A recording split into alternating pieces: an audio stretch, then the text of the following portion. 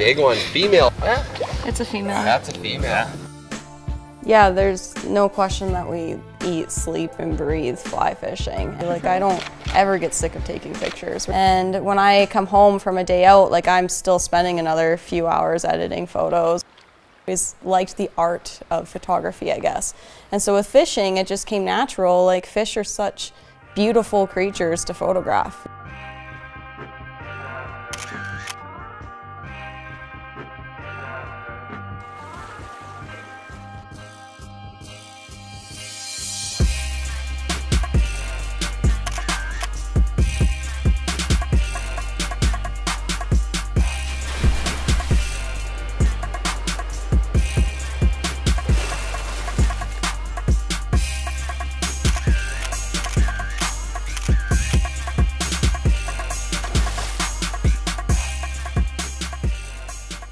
There's nothing more that I like when, when Amber catches fish. Like, that's way better than any fish I've ever caught in my whole life. I'd rather see Amber catch a thousand fish than catch any of them myself. There's nothing I enjoy more than when, when she gets them. I got one.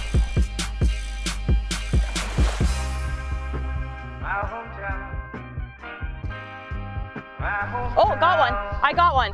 I'm not even kidding. This is the craziest day I've ever had fishing in my entire life, man.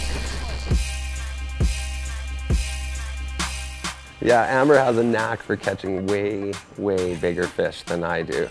Yeah, she just does. She's way more patient. You know, I'm, I'm, I'm out there right away. If I see something rising, I'm on it, on the spot. And Amber can sit and watch me fish all day. And then Amber will come, she'll put one cast in and then just crush every fish that I had caught throughout the day. No, no, no, no, no, no, no, no, fish. Come on, come I on. knew it, Amber. That's a good fish. Yeah, it's best fish of the day. Ooh. Here. Oh, wow, Amber. Best fish of the day, hands down.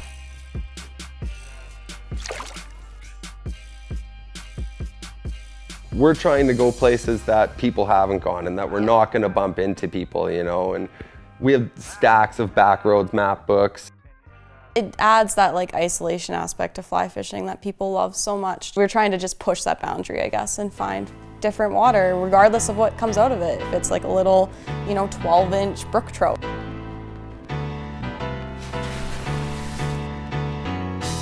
That's a grand slam. Just so pretty. Oh, beautiful. Hammered that. Oh, lovely fish. Look at the color on them. Great spots. Very nice, Amber. Right on.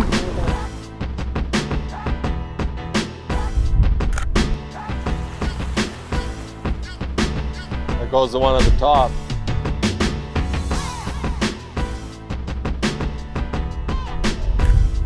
Took the hopper. Put a stimulator on. I think when the competition really started between the two of us was when we were in Florida. Absolutely. And we were just fishing on this golf course at night. Son of a... And Brendan had been casting at this grass for, for quite some time.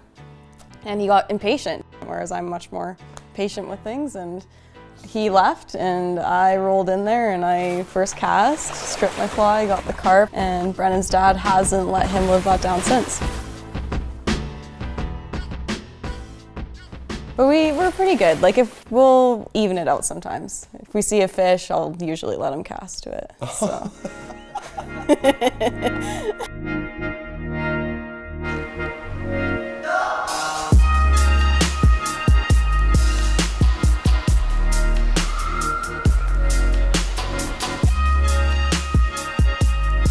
Brendan. The pike, 100%. Sick, man, sick. Yes, that deserves a deadly for sure.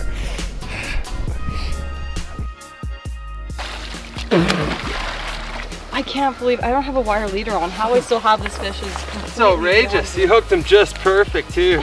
You got him. That's a slab. Yeah. Look at the tail. Look at the color. I would That's say the best so. bite I've had out of a pike on a four-way rod, no doubt. I have to be, you know, prepared for the next day or the next week or wherever we're going, so I'm always thinking ahead. With the poppers especially, you know, like the poppers just came along, right? There's painting them, I love it, just trying to think up of new ideas and new patterns. Five, six nights a week, we're out fly fishing, right? If we take one day off, it's, it's pretty rare. It doesn't happen too much anymore, so. Pike, The hit. yeah, it's all about the hit fact for that- sure. that pike hit that hard and you just see them in the water it's it's like a torpedo coming at you you know like they're like so prehistoric you know it's like fishing for a dinosaur right like I think the coolest thing with pike too, like, is just the way they stalk their prey. Like, it just decides at that split second that it's gonna attack, and it just opens its mouth, and it's like crazy, scary jaws of fury, and it just attacks the fly. If you can fish poppers to pike and you can get those fish on the surface They'll there's explode out of the nothing like it. Like it's like someone threw a grenade inside of the water when they hit the fly like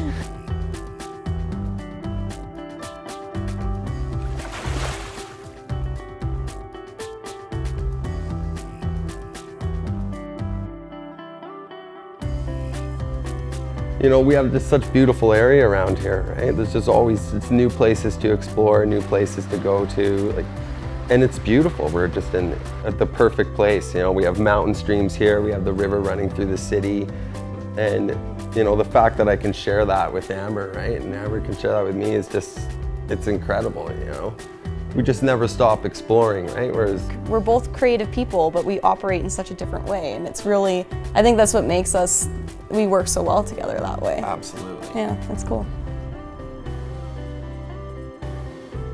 We just, we always are having fun, and I think that's integral to any relationship. Is just the fact that even if you don't both fly fish, if you can share a hobby together that you're both really excited about, like that's key. Because enjoying the time you're spending with the person that you're going to be spending the rest of your life with is really important. And fly fishing has definitely brought us together closer that way. I think. Yeah. Yeah.